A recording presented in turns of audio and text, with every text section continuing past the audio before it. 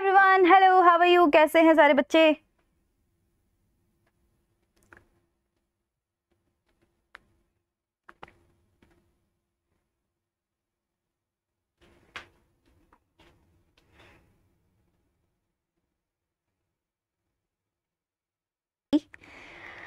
Yes yes yes hi everyone hi hi hello hello so बच्चों, आज हमें करना है फास्ट रिविजन सीरीज़ में principle of inheritance and variation का पार्ट नंबर टू जिसमें हम चैप्टर को कंप्लीट कर रहे होंगे। लास्ट के लेक्चर में बेटा पार्ट नंबर वन किया था, जहाँ पर हमने काफ़ी सारे इंपॉर्टेंट पॉइंटर्स जैसे मोनोहाइब्रिड क्रॉस है, और जो हमारा इनकम्प्लीट डोमिनेंस है लॉ ऑफ़ डोमिनेंस है लॉ ऑफ़ सेग्रीगेशन है को डोमिनेंस है everything we have covered blood grouping also we have covered तो अगर आपने लास्ट लेक्चर नहीं देखा हो तो प्लीज़ देख लेना, क्योंकि ये बड़ा चैप्टर था, इसलिए मुझे इसके पार्ट्स बनाने पड़े। तो प्लीज़ मेक श्योर कि आप वो वाला लेक्चर भी देख रहे हो।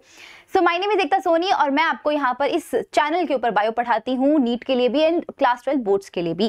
तो अगर आप बोर्ड्स के लिए बिल्कुल टेंशन में हैं तो बिल्कुल टेंशन में लेने की, आपको टेंशन लेने की कोई ज़रूरत नहीं क्योंकि आई एम हियर मैं आपको फास्ट ट्रैक रिवीजन करवा रही हूँ, फटाफट रिवीजन ठीक है?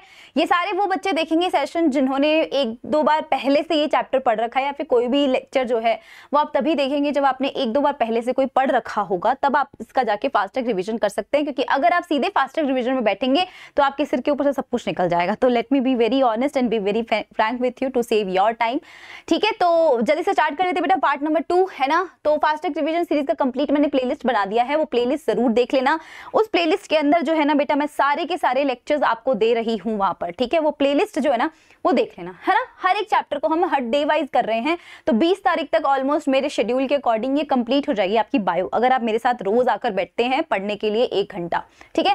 वैलेंटाइन वीक चल रहा है तो बेटा आपके लिए एक बहुत बड़ा सरप्राइज़ है हमारी तरफ़ से कि आपको प्रीवियस क्वेश्चन चाहिए, चाहे वो सीबीएसई के हो, चाहे वो नीट के हो एनसीआरटी सोल्यूशन चाहिए, चाहे वो यूट्यूब लिंक्स भी क्यों ना हो, सब चीज़ें आपको, जो भी कंटेंट आपको चाहिए, सब कुछ एक लेकर हमने एक खजाना बॉक्स आपके लिए रेडी कर दिया ट्रेजर बॉक्स जिसको आप कर सकते हैं। बेटा फ्री ऑफ़ कॉस्ट है यहाँ पर। आप सारी चीज़ें सारी चीज़ें आप अवेल कर सकते हैं। बिल्कुल फ्री ऑफ़ कॉस्ट आपको डिस्क्रिप्शन बॉक्स में लिंक मिल जाएगा।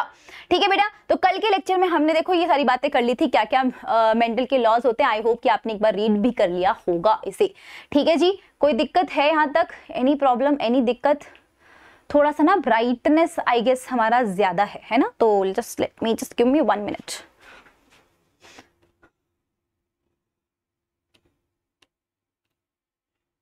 हाँ जी। ठीक है अभी ठीक है? अभी शायद हमें परफेक्ट दिख रहा है। ठीक है मैं थोड़ी सी कम ब्राइट दिख रही हूँ बट हाँ जो भी हमारा लिखा हुआ कंप्लीटली आपको दिख रहा है। ठीक है? सो बेटा हमने मेंडल के लॉ की डिस्कवरी है ना इसके बारे में सब कुछ डिस्कशन कर लिया था। अब हमें आज जो डिस्कशन करना है ना that is our chromosomal theory of inheritance यहाँ से हमें बात करनी है। एंड uh, जो मेंडल का लॉ है बेटा यहाँ पर यहाँ पर हमें बात करनी है। यस yes, टू जीन्स का इनहेरिटेंस एक जीन के इनहेरिटेंस पे हमने जब बात करी थी, बेटा मोनोहाइब्रिड क्रॉस था, अब हम बात करेंगे टू जीन्स के इनहेरिटेंस के ऊपर. तो यहाँ पर बेटा मैं बेसिकली आपको ये बता रही हूँ कि यहाँ पर हम दो जीन्स का इनहेरिटेंस मतलब दो कैरेक्टर्स को ले रहे होंगे. लास्ट टाइम आपको याद होगा, हमने सिर्फ़ प्लांट की हाइट पे डिस्कशन किया था. अब की बारी बेटा मैं हाइट को भी लेने वाली हूँ एंड हाइट के साथ साथ में मैं कोई भी सीड का शेप हो गया या फिर कोई और हो गया, कोई भी अलग मेरे पास में कैरेक्टर हो सकता है, वो ले सकती हूँ. मतलब मैं दो कैरेक्टर को जब स्टडी करती हूँ एक साथ में तो वो टू जीन्स का स्टडी हो जाता है इनहेरिटेंस ऑफ़ टू जीन्स मैं उसी को बोलती हूँ। इसके बेसिस के ऊपर इसने independent law of independent assortment दिया था मेंडल ने। तो ये लॉ आ सकते हैं आपके, तीनों ही लॉज बहुत इंपॉर्टेंट है। जो पहले के दो लॉज हैं, वो आपके बेटा मोनोहाइब्रिड क्रॉस के बेसिस पे दिए गए थे। जो ये वाला लॉ है वो आपको डाई हाइब्रिड क्रॉस के बेसिस पे दिया जाता है। सो so, आप देखेंगे मेंडल की जो थ्योरी थी ना ये जो मेंडल ने थ्योरी दी थी काफ़ी सालों तक अनरिकग्नाइज रह गई थी क्योंकि मेंडल ने से काफ़ी सारी चीज़ें यूज़ करी थी यहाँ पर। जैसे कि बेटा मेंडल का कम्युनिकेशन बहुत ईजी नहीं था मतलब उसने अपना वर्क जो था, वो सब जगह पे पब्लिश ही नहीं करा था, है ना? तो उसका वर्क जो था वो वाइडली पब्लिश नहीं हुआ तो लोगों को पता नहीं चला कि मेंडल क्या कर रहा है। दूसरा बेटा उसे कॉन्सेप्ट ऑफ़ जीन मतलब उसको पता नहीं चला कि जीन एक्चुअली क्या है, वो फैक्टर फैक्टर बुला रहा था। किसी को पता नहीं चला कि जीन क्या होता है, वो एक्सप्लेन भी नहीं कर पाया उस चीज़ को। दैट इज़ वाई उसका वर्क जो है, वो ज़्यादा लोगों ने एक्सेप्ट नहीं किया। मतलब सबको ऐसा लगा कि अपने मन घड़ंत कुछ खानियाँ ये हमें बता रहा है। उसके बाद में बेटा थर्डली इसका लगा था कि मेंडल ने जो अप्रोच यूज़ करी थी मैथमेटिक्स मैथमेटिक्स बायोलॉजी में यूज़ कर ली। कैसे? क्योंकि उसने रेशियो बताने शुरू कर दिए थे कि फिनोटिपिक होता है जिनोटिपिक होता है one ratio two ratio one three ratio one है ना? ऐसी चीज़ें हमें बता रहा था। मैथमेटिक्स को यूज़ करते लोगों का दिमाग फिर गया कि भाई बायोलॉजी में मैथ्स तो पहली बार यूज़ हो रही है मतलब ये कुछ गलत ही बता रहा है, ठीक है? उसके बाद में बेटा, उसने कहीं पर भी कोई भी फ़िज़िकल प्रूफ इस चीज़ों का मतलब नहीं बताया था कि फैक्टर्स एग्जिस्ट भी करते हैं। लोगों को बस ये बताया कि हाँ फैक्टर नाम की कोई चीज़ होती है बट लोगों को ये नहीं बताया प्रूफ नहीं दिया कि भाई फैक्टर जैसी कोई चीज़ होती भी है क्या? एंड आफ्टर दैट बेटा रीडिस्कवरी हुई मेंडल के रिज़ल्ट की। मेंडल का जो भी पूरा लॉ था उसकी रीडिस्कवरी करी गई 1990 के अंदर। तीन साइंटिस्ट आए थे। ह्यूगो डीवरिज आए थे। एंड फटाफट से मुझे कमेंट्स में लिखकर बताएँगे कि ह्यूगो डिवरीज ने कौन से प्लांट के ऊपर अपनी पूरी डिस्कवरी करी थी। उसके बाद बेटा कार्ल कॉरेंस आए थे फिर वॉन शेरमार्क आए थे। ये तीन साइंटिस्ट थे जिन्होंने मेंडल के लॉ को कंप्लीटली वापस रीडिस्कवर किया मेंडल के मरने के बाद में। ठीक है बेटा? तो उसके बाद में हमने हाँ जी सुनाई नहीं दे रहा है? कौन से प्लांट आ तो रही है। सुनाई दे रहा है भाई, सुनाई दे रहा है बिल्कुल, ठीक है? उसके साथ में बेटा क्रोमोजोमल थ्योरी ऑफ़ इनहेरिटेंस है ना? इसकी बात करते हैं, ये सवाल बहुत ज़्यादा आता है आपके, बहुत लॉन्ग आंसर टाइप क्वेश्चंस में आ जाता है। तो क्रोमोजोमल थ्योरी ऑफ़ इनहेरिटेंस किसने दी थी सबसे पहले तो? तो बात करें तो बेटा, वॉल्टर सटन और थियोडर बॉवेरी ने 1902 के अंदर ये क्रोमोजोमल थ्योरी ऑफ़ इनहेरिटेंस दिया था। इससे बेसिकली क्या बताया था? मेरी तरफ़ ध्यान देंगे। इसने बस ये बताया था कि जैसे जीन जो होते हैं ना, वो जोड़े में प्रेजेंट होते हैं एलिल्स की फॉर्म में प्रेजेंट होते हैं। वैसे हमारे क्रोमोजोम भी जो होते हैं ना वैसे जोड़े के रूप में प्रेजेंट होते हैं, वो एक जनरेशन से दूसरी जनरेशन में ट्रांसफ़र होते हैं। ठीक है? इन्होंने बताया था कि भाई जो जीन होते हैं, जो जीन है, वो आप बोल रहे हो कि एक जनरेशन से दूसरी जनरेशन में ट्रांसफ़र होता है। इनहेरिटेंस इसे तो कहते हैं, यही तो फैक्टर के फॉर्म में हमारे मेंटल भाई साहब ने कहा था। तो हमने इस चीज़ को बता दिया कि जो जीन्स होते हैं ना, वो एक्चुअली इन क्रोमोजोम के अंदर प्रेजेंट डीएनए पे प्रेजेंट होते हैं। मतलब इन जीन को कैरी करने वाला जो कैरियर है, वो क्रोमोजोम ही होता है। तो दैट्स व्हाट दे टोल्ड उन्होंने अपनी क्रोमोजोमल थ्योरी ऑफ़ इनहेरिटेंस में बताया था। तो इन्होंने बोला कि जो क्रोमोजोम का बिहेवियर होता है, वो जीन के बिहेवियर के जैसा ही होता है। ठीक है तो ये बिल्कुल पैरेलल होता है एंड क्रोमोजोम जो होते हैं बेटा, वो मूव करते हैं मेंडल के लॉ के अकॉर्डिंग मतलब मेंडल ने बोला था ना इनहेरिटेंस होता है एक पीढ़ी से दूसरी पीढ़ी में। वैसे ही यहाँ पर भी हमारे जीन के जैसे ही हमारे क्रोमोजोम्स भी एक पीढ़ी से दूसरी पीढ़ी में ट्रांसफ़र होते हैं। उसके बाद उन्होंने बताया कि जैसे हम बोलते ना ट्वेंटी क्रोमोजोम फादर से ट्वेंटी क्रोमोजोम मदर से एंड देन बेबी के अंदर फोर्टी क्रोमोजोम तो वही चीज़ यहाँ पर बताई कि जो क्रोमोजोम होते हैं, वो ट्रांसफ़र होते हैं और ये क्रोमोजोमल थ्योरी ऑफ़ इनहेरिटेंस से हमें पता चला। इसको बेटा हम क्रोमोजोमल थ्योरी ऑफ़ इनहेरिटेंस बोलते हैं। सटन ने सारी नॉलेज को यू नो एग्रीगेट किया। Chromosomal segregation with Mendelian principle Mendel ने जिस हिसाब से बताया था कि किस हिसाब से वो हमारे जीन्स होते हैं, वो एक पीढ़ी से दूसरी पीढ़ी में जाते हैं, वैसे ही हमारे क्रोमोजोम भी एक पीढ़ी से दूसरी पीढ़ी में जाते हैं। उस चीज़ को ही इन्हें एग्रीगेट करके मतलब क्रोमोजोमल का सेग्रीगेशन बताया कि क्रोमोजोम ऐसे सेग्रीगेट होते हैं। समझ पा रहे हो? क्रोमोजोम के अंदर ही जीन होता है तो जीन भी अपने आप ही वैसे सेग्रीगेट हो जाता है। सिंपल सी बात है कि भाई जीन अगर सेग्रीगेट हो रहा है तो जीन कहाँ है? जीन क्रोमोजोम के अंदर ही तो है। क्रोमोजोम में डीएनए है डीएनए के ऊपर कहीं ये जीन है। तो जब क्रोमोजोम होगा, तभी तो जीन आगे जाएगा ना ऑब्वियसली बात है। तो chromosome and genes are present in pairs पहली बार डिप्लॉइड सेल के अंदर दोनों पेयर्स में प्रेजेंट होते हैं very important homologous chromosome separate होते हैं during gamete formation homologous chromosome क्या होते हैं? ध्यान से देखेंगे। देखो यार होमोलोगस क्रोमोजोम नाम की ना आपके पास में ये टर्मिनोलॉजी आएगी, मैं कहा बताऊँ? हाँ जी, यहाँ पे बता देते हैं कि मान लो तुम्हारे पास में बेटा ये एक क्रोमोजोम है इस तरीके से, ऐसे बेटा आपके पास में दूसरा क्रोमोजोम है इस तरीके से। होमोलोगस क्रोमोजोम वो क्रोमोजोम होते हैं जिनकी जिनका स्ट्रक्चर जिनका शेप जिनकी लेंथ बिल्कुल सेम होते, होती हो। मतलब ये इतना लंबा क्रोमोजोम हो तो ये भी इतना ही लंबा क्रोमोजोम है। लेंथ में कहीं कोई गड़बड़ ना हो। इसी के साथ में बेटा, जो जीन यहाँ पे प्रेजेंट है लेट सपोज़ यहाँ कोई जीन प्रेजेंट है है ना? वही जीन बेटा यहाँ पर भी प्रेजेंट होगा। मतलब लेट सपोज़ कि जैसे हाइट का ही बात करें तो हाइट के अंदर अगर टॉल वाला जीन यहाँ पे है तो डॉर्फ वाला जीन बेटा यहाँ होगा। कैरेक्टर कौन है? हाइट कैरेक्टर तो एक ही है बट ट्रेड्स अलग है। टॉल और डॉर्फ हो गया बस। लेकिन कैरेक्टर तो हाइट ही है ना? तो हाइट वाला जीन यहाँ है तो ये यहाँ पर भी होगा। समझ पा रहे हो? तो यहाँ पे डिफरेंस नहीं होता है। बिल्कुल सेम होता है यहाँ पर। इनको बोलते हैं होमोलोगस क्रोमोजोम फिर बेटा बात आती है कि होमोलोगस क्रोमोजोम तो हो गए तो सिस्टर और नॉन सिस्टर क्रोमेटेड क्या होते हैं? तो बेटा ये दोनों होमोलोगस क्रोमोजोम है क्योंकि इनकी लेंथ सेम है, इनका जीन का स्ट्रक्चर भी सेम है। लेंथ सेम और जीन का स्ट्रक्चर सेम होने के साथ में बेटा इनमें क्या होता है? हम बोलते हैं, सिस्टर, क्या होता है? तो बेटा, ये जो दो क्रोमेटिड्स होते हैं, एक क्रोमोजोम में आपको दो क्रोमेटिड्स दिखाई दे रहे हैं तो ये दोनों क्रोमेटिड जो होते हैं, ये एक ही क्रोमोजोम के हैं, इसलिए बेटा इनको सिस्टर क्रोमेटिड कहते हैं। ये भी क्या होंगे? सिस्टर ही होंगे। लेकिन बेटा, ये दो होमोलोगस क्रोमोजोम के अंदर आप दो अलग अलग क्रोमेटिड की बात करेंगे, इसकी और इसकी तो ये हो जाते हैं बेटा non sister chromatid got it non sister chromatid आगे जाकर आप पढ़ेंगे ना क्रॉसिंग ओवर वो क्रॉसिंग ओवर हमेशा नॉन सिस्टर क्रोमेटिड्स के बीच में होता है, कभी भी सिस्टर क्रोमेटिड्स में नहीं होता। मतलब देखो सिस्टर के अंदर सिस्टर तो बिल्कुल आपस में सेम हो गई। उसमें क्या एक्सचेंज लाएँगे? क्रॉसिंग ओवर का काम ही होता है एक्सचेंज लाना वेरिएशन लाना, बदलाव लाना। क्रॉसिंग ओवर का मतलब क्या है कि भाई, इस इस साइड से क्रोमोजोम का थोड़ा सा पार्ट कटा और यहाँ पर आ गया और इस साइड से थोड़ा पार्ट कटा, यहाँ चला गया। क्रोमोजोम का एक्सचेंज ही तो होता है ना, थोड़ा बहुत। क्रोमोजोम के थोड़े से पार्ट का एक्सचेंज होना क्रॉसिंग ओवर होता है। इतने पार्ट में जो जीन थे वो यहाँ आ गए, इतने पार्ट में जो जीन थे वो यहाँ चले गए। और जीन का एक्सचेंज होते तो पूरे कैरेक्टर ही चेंज हो जाते हैं, आपको पता है। तो ये हो जाता है बेटा क्रॉसिंग ओवर क्रॉसिंग ओवर हमेशा कहाँ होता है?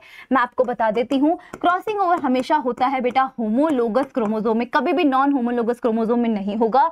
होमोलोगस क्रोमोजोम के नॉन सिस्टर क्रोमेटेड के अंदर। बता दू मैं? नॉन सिस्टर क्रोमेटिड के अंदर, कभी भी सिस्टर क्रोमेटिड में नहीं होगा। नॉन सिस्टर क्रोमेटिड्स के अंदर हमेशा और हमेशा क्या होता है? क्रॉसिंग ओवर होता है। यहाँ तक कोई दिक्कत है? इंटरचेंज बिल्कुल इंटरचेंज होता है। ये सवाल आता है कि कहाँ पे होता है। ठीक है बेटा, ये मैंने आपको होमोलोगस बता दिया, लेकिन वहीं पर मैं बात करूँ नॉन होमोलोगस क्रोमोजोम की। तो नॉन होमोलोगस कुछ ऐसा होता है बेटा लेट सपोज़ ये एक क्रोमोजोम है। तो इस क्रोमोजोम का लेंथ आप देख पा रहे हैं, मैं दूसरा ऐसा क्रोमोजोम बनाऊँ जो थोड़ा बड़ा है। ये लेंथ है। तो बेटा ये लेंथ में ही बिल्कुल सेम नहीं है तो ये नॉन होमोलोगस हो गए। अगर मान लो ये लेंथ में सेम हो, लेकिन लेंथ में सेम होने के बावजूद भी मान लो कि इनमें इनमें जो कैरेक्टर्स है, यहाँ पर कोई हाइट का जीन है तो बेटा यहाँ पर कोई सीड शेप का जीन होगा। मतलब कैरेक्टर्स जो है वो सेम सेम प्लेस पर कैरेक्टर्स जो है वो डिफरेंट डिफरेंट आ रहे हैं। मतलब यहाँ पर हाइट यहाँ पर, यहाँ का जो जीन है वो हाइट को रिप्रेजेंट कर रहा है, यहाँ वाला सीड शेप को कर रहा है। जबकि होमोलोगस में बेटा, यहाँ पर जो जीन है वो हाइट को कर रहा है, यहाँ पर भी जीन है वो हाइट को कर रहा है। बस वो ट्रेट अलग है टॉल को डॉर्फ को, बस इतना होता है। ठीक है बेटा, ये हो जाता है आपका homologous and non homologous chromosome तो यहाँ पर देखिए, इन्होंने बताया मियोसिस में किस तरीके से मियोसिस में आगे जाके ना ये सेपरेट हो जाते हैं क्रोमोजोम्स ठीक है तो देखिए आप मियोसिस में इस तरीके से होंगे। ये क्रोमो क्रोमोजोम वाली छोटी आर्म्स है, ये बड़ी वाली आर्म्स है। आप देखेंगे बेटा G one G two phase के अंदर इस तरीके से ये अपना बाइवेलेंट मियोसिस फ़र्स्ट के अंदर एनाफेज तक आते आते देखो बेटा, इस तरीके से सिचुएशन हो जाती है बाइवेलेंट बन जाता है। आपने पढ़ा होगा क्लास इलेवंथ क्लास में मियोसिस पढ़ा होगा, जहाँ बाइवेलेंट बनता है मियोसिस फ़र्स्ट में जाइगोटीन फ़ेज़ के अंदर राइट तो वहाँ पर बाइवेलेंट कैसे बनता है, ये होमोलोगस क्रोमोजोम जो होते हैं ना, जुड़ जाते हैं। मतलब ये एक होमोलोगस ये दूसरा होमोलो मतलब ये दोनों आपस में होमोलोगस है है ना? एक जैसे हैं। तो ये क्या है ना, आपस में से मतलब जुड़ते तो नहीं है मतलब पास पास आ जाते हैं। तो उसको क्या बोलते हैं? बाईवेलेंट बोलते हैं। बाई का मतलब है दो दो क्रोमोजोम्स हमारे पास में आ गए हैं। अब इन बाईवेलेंट क्रोमोजोम्स को पहले तो हमें क्या करना पड़ेगा? इन दोनों को एक दूसरे से अलग करना पड़ेगा। फिर बेटा बाईवेलेंट क्रोमोजोम के अंदर भी ये जो दो क्रोमेटेड है, फिर हमको इनको अलग करना पड़ेगा। तो इन्होंने बोला है कि भाई, पहले होमोलोगस क्रोमोजोम सेपरेट होते हैं एनाफेज के अंदर मियोसिस फ़र्स्ट की एनाफेज में। फिर होमोलोगस क्रोमोसोम सेपरेट होंगे तो होमोलोगस क्रोमोसोम एक जोड़ा इधर, एक जोड़ा इधर। फिर जोड़े को भी हमें सेपरेट करना पड़ेगा अलग अलग क्रोमेटेड में, वो होगा मियोसिस टू की एनाफेज के अंदर। तो वहाँ पर, वो वहाँ पर सेपरेट हो जाएँगे, उसके बाद जर्म सेल्स बनेगी तो हर एक सेल के अंदर बेटा एक एक क्रोमोजोम आ जाएगा। ऐसे मियोसिस होता है। तो बोला मियोसिस के अंदर जो क्रोमोसोम्स होते हैं, वो ऐसे ट्रांसफ़र होते हैं जीन्स भी ऐसे ही ट्रांसफ़र होते हैं। तो यहाँ पर ना कंपैरिजन बताया गया क्रोमोसोम और जीन के अंदर की आपको पता लगाना है कि कौन सा जीन है, कौन सा क्रोमोजोम है। बेटा, ये पेयर में होता है, ये भी पेयर में होता है, क्योंकि क्रोमोजोम और जीन दोनों ही पेयर में होते हैं। साथ में सेग्रीगेट होता है at the time of gamete formation such that only one of the each pair is transmitted to gamete एक पेयर बेटा ट्रांसफ़र होता है हर गेमीट के अंदर। वो इस तरीके से होते हैं and segregate at gamete formation and only one of the each pair is transmitted to a gamete ठीक है? यहाँ पर कोई डिफरेंस नहीं है। दोनों में सेम है। Independent pair segregate independently of each other and one pair segregate independently of another pair देखिए बेटा, हमने जब क्रोमोजोम का सेपरेशन किया तो ये एक पेयर था और ये दूसरा पेयर था। ये दोनों पेयर एक दूसरे से सेपरेट हो रहे थे। जबकि बेटा जीन में क्या होता है ना जीन में कुछ इस तरीके से नहीं होता। जीन में क्या होता है इंडिपेंडेंट पेयर्स होते हैं। इंडिपेंडेंट पेयर्स होते हैं, वो सेग्रीगेट हो जाते हैं अपने अलग अलग राइट तो यहाँ पर बेटा ये वाला जीन हो जाएगा, ये वाला आपका क्रोमोजोम हो जाएगा, क्योंकि ये है one pair segregate independently of each independently of another pair दूसरे पेयर से वो एक पेयर जो है वो अपना सेपरेट हो रहा होता है। ठीक है तो ये experimental verification chromosomal theory of inheritance का बेटा किसने दिया, ये आपको याद रखना है। एक्सपेरिमेंटल कि भाई एक्सपेरिमेंट से प्रेजेंट करो, हमें एक्सपेरिमेंट जब तक नहीं होगा, हम विश्वास नहीं करेंगे। तो थॉमस हंट मॉर्गन जो थे, उन्होंने अपना एक्सपेरिमेंट दिया। उन्होंने एक्सपेरिमेंट करा ड्रोसोफिला के ऊपर। अब ड्रोसोफिला को क्यों चूज़ करा? इसलिए किया क्योंकि जेनेटिक स्टडी के लिए ड्रोसोफिला सबसे बेस्ट मानी जाती है। अगर आपको पता हो, आपने एनसीआरटी क्लास इलेवेंथ की बायोलॉजिकल क्लासिफिकेशन पढ़ा हो। साथ में बेटा सिंपल सिंथेटिक मीडियम के अंदर उसको आराम से उगाया जा सकता है। आप एक सिंथेटिक मीडियम दीजिए सिंपल सा लेबोरेटरी के अंदर आप उसको बढ़िया से ग्रो कर सकते हैं ड्रोसोफिला को। साथ में बेटा, अपना लाइफ साइकिल वो दो वीक में कंप्लीट कर लेती है मतलब अब वो पहले तो जिएगी और दो वीक के बाद में मर जाएगी। मतलब उसका कंप्लीट लाइफ साइकिल सिर्फ़ दो वीक का ही होता है। तो दो वीक में हम आराम से पता लगा सकते हैं, हमारे रिज़ल्ट देख सकते हैं। वरना अगर हम ऐसा कोई चूज़ करते, जिसका लाइफ स्पैन बहुत बड़ा है तो हमें काफ़ी टाइम तक वेट करना पड़ता कि वो हमें कब रिज़ल्ट देगा। ये दो वीक के अंदर अंदर रिज़ल्ट दे देगी, ठीक है? मरने से पहले दे देगी। एक सिंगल मीटिंग करेगी तो बहुत सारी प्रोजेनी फाइल्स आएँगी। एक मीटिंग के ऊपर बहुत सारी मक्खियाँ प्रोड्यूस कर देगी ये राइट उसके बाद में बेटा क्लियर डिफ्रेंसिएशन हो सकता है मेल और फीमेल ड्रोसोफिला का, कि आप आराम से पता लगा सकते हैं। साथ साथ में बेटा how many have many types of hereditary variation that can be seen with low power microscope आप लो पावर माइक्रोस्कोप भी आपके पास में है तो भी आपको कोई टेंशन की बात नहीं, आप इसको आराम से ऑब्ज़र्व कर सकते हैं। बेसिकली इसने किया क्या ना बेटा, आपके पास में दो क्रॉसेस करे इसने। इसने एक्चुअली लिंकेज को एंड क्रॉसिंग ओवर को समझाने की कोशिश करी थी किसने? हमारे थॉमस हंट मॉर्गन ने। इसने बोला कि भाई आपके पास दो क्रॉस है क्रॉस ए क्रॉस बी इसमें क्या है? मद, ये जो फीमेल है और ये मेल है और ये यहाँ पर फीमेल है वहाँ पर मेल है। तो यहाँ पर दो कैरेक्टर लिए। एक तो बेटा येलो बॉडी और व्हाइट आई ठीक है? क्रॉस ए के अंदर क्या हो रहा है बेटा? येलो बॉडी है। कौन से कैरेक्टर लिए हैं? Yellow body and white eye. Cross two के अंदर ड्रोसोफिला के कौन से कैरेक्टर लिए बेटा? व्हाइट बॉडी एंड ये है विंग्स मिनीटो विंग्स ठीक है? तो व्हाइट बॉडी बॉडी का कलर कैसा है? व्हाइट एंड विंग्स अब की बार विंग्स ले लिया इसने, ठीक है? मिनीटर विंग्स समझ पा रहे हो? तो ये मेरे पास में दो कैरेक्टर्स इसने ले लिए हैं। एक साइड में इसने बॉडी का कलर एंड आई का कलर लिया है। एक साइड में इसने बॉडी का कलर और विंग्स का यू नो विंग्स का शेप लिया है, ठीक है? तो यहाँ पर हमें क्या बात करनी है? Cross A and cross B के अंदर। क्रॉस ए जब हम करवाते हैं, बेटा येलो एंड व्हाइट के साथ में यहाँ पर एक वाइल्ड टाइप जो है मेल के अंदर वाइल्ड टाइप ले लेते हैं फीमेल के अंदर आप क्रोमोजोम का स्ट्रक्चर देखते जाइए। इस क्रोमोजोम पे वाई डब्ल्यू वाई डब्ल्यू यहाँ पर वाई प्लस डब्ल्यू प्लस है ना? इस तरीके से अरेंज्ड है। यहाँ पर क्या हो रहा है ना एफ़ वन जनरेशन जब हम लेकर आते हैं, इन दोनों के बीच में क्रॉस करवाते हैं एफ़ वन जनरेशन लाते हैं तो होता क्या है ना कि जो वाइल्ड टाइप है, ये वाला ये वाला यहाँ पर ट्रांसफ़र हो जाता है। समझ पा रहे हो। और दूसरा वाला बेटा यहाँ ट्रांसफ़र हो जाता है। ये एक जो वाई डब्ल्यू था, वो यहाँ ट्रांसफ़र हो गया, है ना? तो येलो और व्हाइट यहाँ पर आ गया, ये वाइल्ड टाइप यहाँ पर आ गया। समझ पा रहे हो? क्योंकि यहाँ पर वाइल्ड टाइप डोमिनेंट था, और यहाँ पर येलो व्हाइट था वो तो येलो व्हाइट था ही डोमिनेंट था ही। तो येलो व्हाइट जैसे आएगा, और इसके साथ में तो येलो व्हाइट डोमिनेंट निकलेगा। ये इसके साथ आ जाएगा तो ये डोमिनेंट निकलेगा वाइल्ड टाइप उसके बाद में बेटा, जब इसने अपना F2 जनरेशन निकालने की कोशिश करी तो यहाँ पर देखिए पेरेंटल कितने हैं और रिकॉम्बिनेंट टाइप्स कितने हैं। पेरेंटल का मतलब है पेरेंटल हमने क्या लिया था? येलो एंड व्हाइट एंड ये वाला। ये वाला स्ट्रक्चर लिया था। तो ऐसा कितनी बार रिपीट हो रहा है? मतलब ये दो येलो क्रोमोजोम्स और एक ये ब्लू और ये पर्पल क्रोमोजोम कितने बार यहाँ रिपीट हो रहा है, वो देखते हैं। है ना? जैसा जितनी बार ऐसा का ऐसा एज इट इज़ रिपीट होगा दैट मीन्स की पेरेंटल कैरेक्टर ज़्यादा है। अगर यहाँ पर एज इट इज़ रिपीट नहीं हुआ, थोड़ा बहुत भी चेंज आया दैट मीन्स की हाँ कहीं पर तो रिकॉम्बिनेशन हुआ है। तो यहाँ पर क्या हो रहा है? पेरेंटल टाइप नाइनटी दिखे रिकॉम्बिनेंट 1.3 देखा। तो बेटा देखिए, ये पेरेंटल है, बिल्कुल सेम एज इट इज़ है ना? यहाँ पर रिकॉम्बिनेशन दिखा है, यहाँ पर रिकॉम्बिनेशन दिखा है बेटा जी, है ना? और ये आपका पेरेंटल आ गया है। इस तरीके से, साथ में बेटा आप देखेंगे, यहाँ पर ये रिकॉम्बिनेशन आपको दिखा है राइट नहीं नहीं नहीं। ये हाँ ये रिकॉम्बिनेशन ही पेरेंटल ही हो गया। एंड साथ में बेटा ये वाला आप देखेंगे तो ये आपके पास में रिकॉम्बिनेशन है। ये आपके पास में रिकॉम्बिनेशन और ये पेरेंटल है। मतलब पेरेंटल आपके पास में ज़्यादा होते हैं रिकॉम्बिनेंट कम होते हैं। कितना परसेंट है? 1.3 रिकॉम्बिनेंट का मतलब है कुछ तो एक्सचेंज हुआ है। यहाँ पर एक्सचेंज कम हुआ है और यहाँ पर एक्सचेंज कम इसलिए हुआ है, इसका रीजन थॉमस हंट मॉर्गन ने बताया कि भाई इस क्रोमोजोम के ऊपर जहाँ पर ये वाई है और डब्ल्यू है, ये बहुत पास पास प्रेजेंट है। मतलब इन दोनों जीन्स के बीच में जो डिस्टेंस होता है, वो बहुत कम है। और डिस्टेंस जब भी कम होगा, वहाँ पे क्रॉसिंग ओवर की संभावनाएँ कम हो जाएँगी। मतलब रिकॉम्बिनेशन वहाँ कम होगा। जितना कम डिस्टेंस होगा, उतना ज़्यादा क्रॉसिंग ओवर भी कम होगा। जितना ज़्यादा डिस्टेंस होगा, उतना ही ज़्यादा क्रॉसिंग ओवर होगा। यहाँ डिस्टेंस बहुत कम है तो बेटा यहाँ लिंकेज की संभावनाएँ ज़्यादा है। जब भी डिस्टेंस कम होता है डिस्टेंस जब भी बेटा कम होता है, हमेशा ध्यान रखेंगे। डिस्टेंस दो जीन्स के बीच में जब भी कम होगा क्रॉसिंग ओवर हमेशा क्या रहेगा? कम होगा। अगर क्रॉसिंग ओवर कम है तो बेटा लिंकेज जो होता है, वो क्रॉसिंग ओवर के उल्टा चलता है। यहाँ पर लिंकेज हमेशा ज़्यादा होगा। लिंकेज ज़्यादा होने का मतलब है कि यहाँ पर पेरेंटल कैरेक्टर जो होते हैं ना, वो ज़्यादा डेवलप हो रहे होते हैं। पेरेंटल कैरेक्टर जो होते हैं बेटा, हमेशा और हमेशा ज़्यादा आएँगे। तो देख पा रहे आप 98.7 पेरेंटल आए हैं और रिकॉम्बिनेशन बहुत कम आया नंबर टू क्रॉस बी देखा तो white body and miniature wings आए। तो ये वाला कैरेक्टर इसने चेंज कर दिया बॉडी और विंग्स ले लिया। उस टाइम पे उसने आई ले रखा था, या विंग्स ले लिया। ये वाइल्ड टाइप सेम चल रहा है। अब यहाँ पे बेटा एफ़ वन जनरेशन लिया, ये वाइल्ड टाइप चल रहा है वाइट मिनिएटर चल रहा है। अब देखते बेटा एफ़ टू जनरेशन इसने प्रोड्यूस करे हैं तो हमारे पास में क्या आ जाता है? ये हमारे पास में आप देखेंगे तो पेरेंटल 62.8 और ये रिकॉम्बिनेट 37.2 तो आप देखेंगे कि यहाँ पर बिल्कुल अचानक से चेंज हो गया रेशियो यहाँ पर रिकॉम्बिनेट ज़्यादा आ गए, उस, वहाँ पर तो 1.3 था, यहाँ 37.2 आया। इसका रीजन क्या है? यहाँ पर आप क्रॉस टू में देखेंगे बेटा, W और M, ये दोनों ही जीन्स दूर है आपस में। और यहाँ W और M जो थे बेटा, वो पास मतलब वाई और W जो थे, वो बहुत पास थे।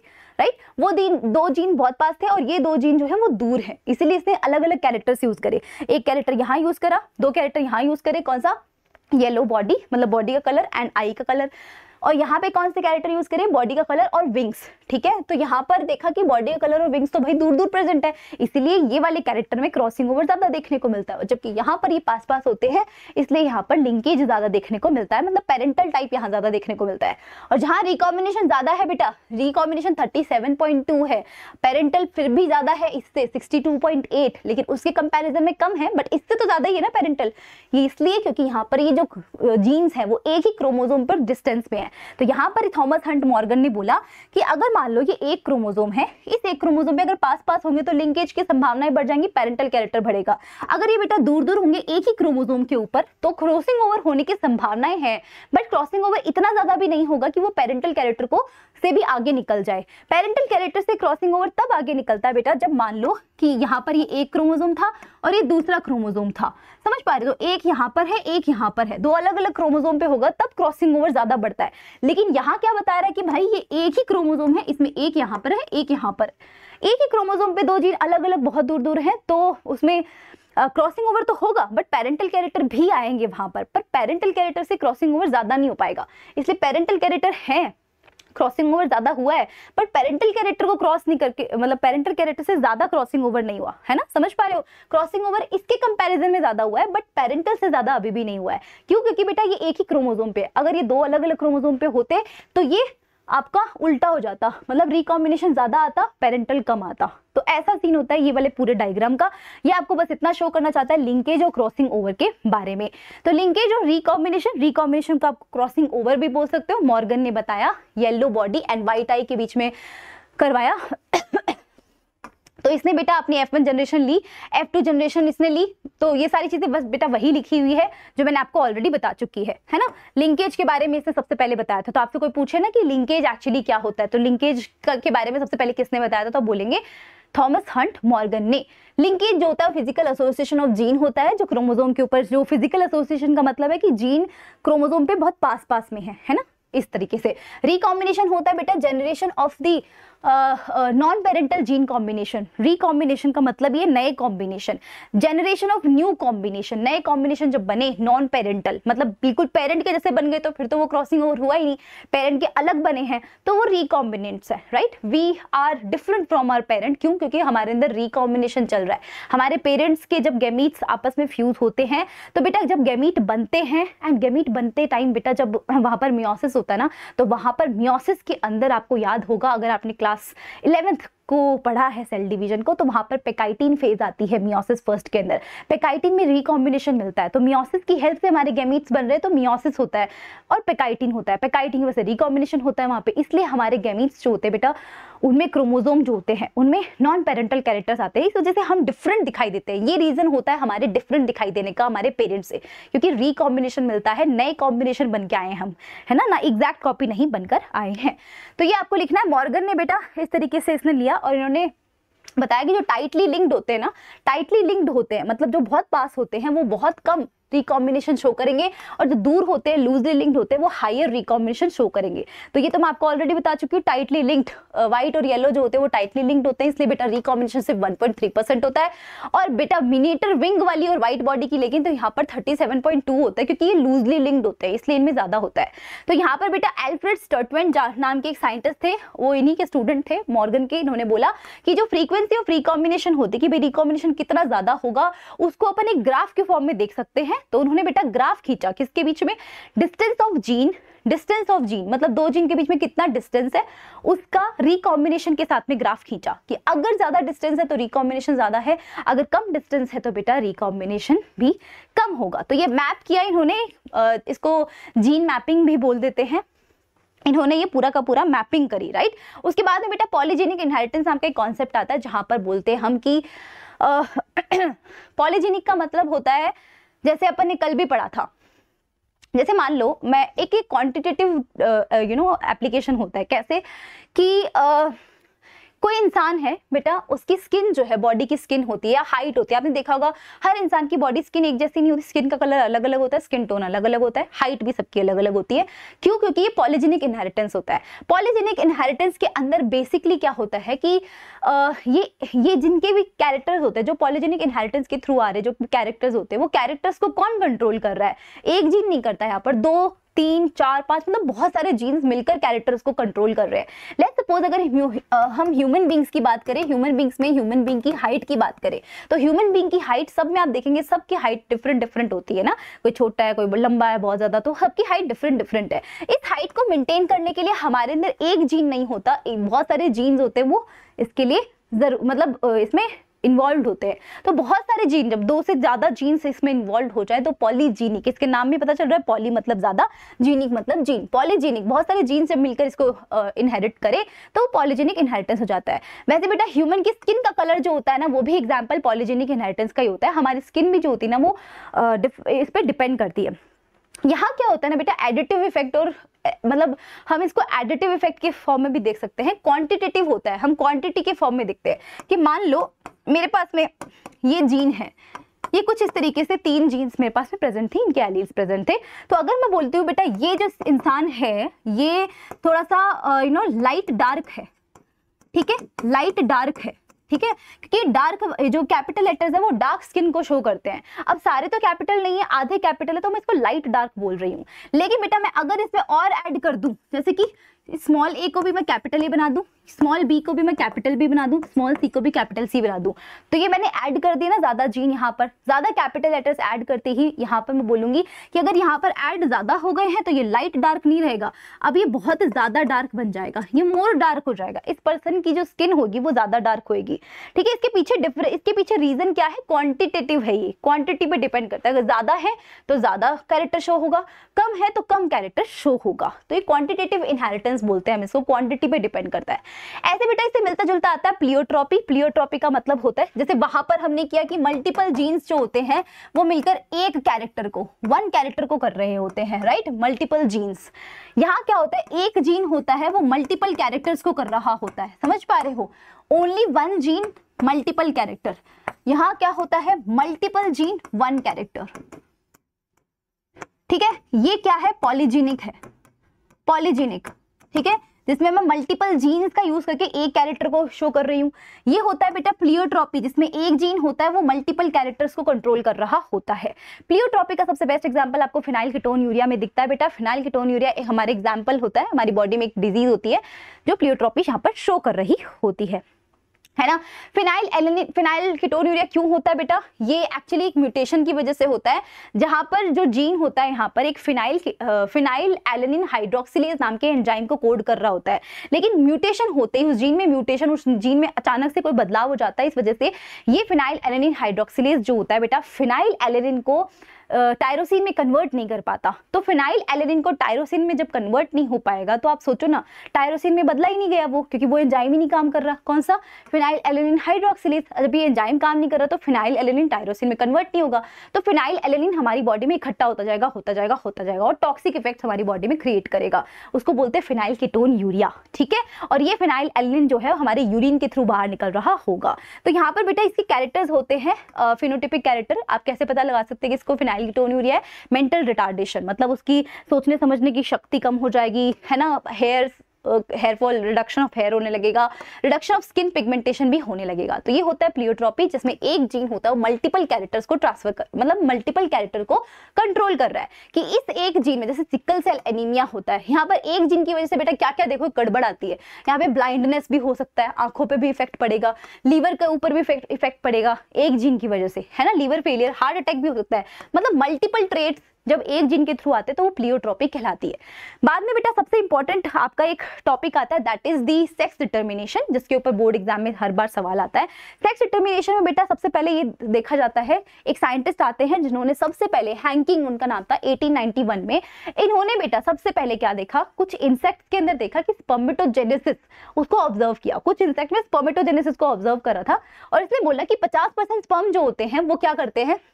उनके पास में एक बॉडी होती है एक्स बॉडी जिन्होंने नाम दिया, और 50 परसेंट ऐसे होते हैं जिनके पास में एक्स बॉडी नहीं होती है। बट आजकल के टाइम पर बेटा हम जानते हैं कि ये एक्स वाई जब होगा तो ये मेल होगा। इसीलिए तो हम बोल रहे हैं कि ये 50 परसेंट तो है जिनके पास में एक्स बॉडी है 50 परसेंट है जिनके पास में एक्स बॉडी नहीं है। हैंकिंग को पता नहीं था कि एक्स बॉडी क्या क्रोमोजोम बोल रहे हैं हम, क्या बोल रहे हैं। वो तो बस नाम बोल रहा था एक्स बॉडी तो हमें पता है कि पचास के पास में एक्स क्रोमोजोम है, पचास के पास में नहीं है। यही तो होता है ना कि ये एक्स जो होता है बेटा, दो मतलब मेल मेल जो होते हैं, वो दो तरीके के गेमीट्स रिलीज़ कर रहे होते हैं एक्स और वाई फिफ्टी परसेंट एक्स होते फिफ्टी परसेंट वाई होते। तो इसने बोला फिफ्टी परसेंट के पास एक्स बॉडी है फिफ्टी के पास में एक्स बॉडी नहीं है। राइट तो हैंकिंग जो होते हैं, इन्होंने एक्स बॉडी नाम दिया और एक्स बॉडी को आगे चलकर हम एक्स क्रोमोजोम बुलाने लग गए हैं। तो बेटा, ये आपको याद रखना कि ग्रास हॉपर में किस तरीके से होता है ह्यूमन बींग्स में किस तरीके से होता है सेक्स डिटर्मिनेशन ये बहुत इंपॉर्टेंट सवाल है। ग्रास हॉपर में बेटा X X X O type का यू नो हो रहा होता है sex determination X X X O type के अंदर क्या होता है बेटा? एक्स एक्स जो होता है, ये तो फीमेल को रिप्रेजेंट करता है। एक्स ओ जो होता है, वो क्या होता है? मेल को रिप्रेजेंट कर रहा होता है।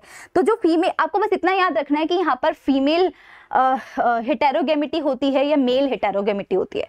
हेटेरोगेमिटी का मतलब है कि दो मतलब दो अलग अलग गेमी जैसे कि हमारे ह्यूमन बींग्स में मेल जो होते हैं, उनके पास में क्या होता है? एक्स और वाई दो तरीके के होते हैं ना राइट तो एक्स और वाई दो तरीके के हमारे मेल के अंदर होते हैं।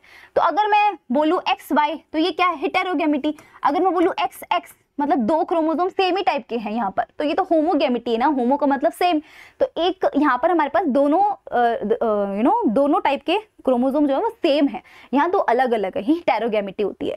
तो ये कौन शो करता है मेल करता है या फीमेल करता है? तो मोस्ट ऑफ़ दी जो आपके एनसीआरटी में सेक्स डिटर्मिनेशन दिए हुए हैं, सभी में मेल हेटेरोगेमिटी शो होती है। मतलब मेल में ही क्या होता है, या तो कभी एक्स ओ मिलेगा, या तो कभी एक्स वाई मिलेगा, है ना? जनरली ऐसा ही होता है हमारे मेल के अंदर। लेकिन बेटा, आपको एक बर्ड के अंदर देखने को मिलेगा। बर्ड में जो होता है बेटा मेल जो होता है, वो होमोगेमिटी शो करता है। ये मेल में होता है बर्ड के अंदर। फीमेल जो होती है बेटा, वो जेड डब्ल्यू शो करती है फीमेल बर्ड्स के अंदर ही एक एक्सेप्शन है, आप इतना याद रखेंगे। बर्ड्स के अंदर जो हिटेरोगेमिटी होती है, वो कौन शो करता है? फीमेल शो करती है, ना कि मेल बाकी सब में हिटेरोगेमिटी कौन शो करता है? मेल अब कैसे टाइप की हिटेरोगेमिटी है? एक्स ओ टाइप की हिटेरोगेमिटी आए तो क्या बोलेंगे आप? ये कौन शो करता है आपके ग्रास हॉपर ग्रास हॉपर जो है वो ये आपका शो कर, शो कर रहा होगा एक्स ओ टाइप की। एक्स वाई टाइप की जो है ये ह्यूमन बींग्स में मिलता है बेटा। थोड़ा याद रख लेंगे। और ये जो है जेड डब्ल्यू ये बस थोड़ा याद रखना है। जेड डब्ल्यू ना बर्ड्स के लिए आता है। ये जेड डब्ल्यू फीमेल करती है। मेल हेटेरोगेमिटी नहीं है। फीमेल हेटेरोगेमिटी आपकी उसमें मिल रही होती है।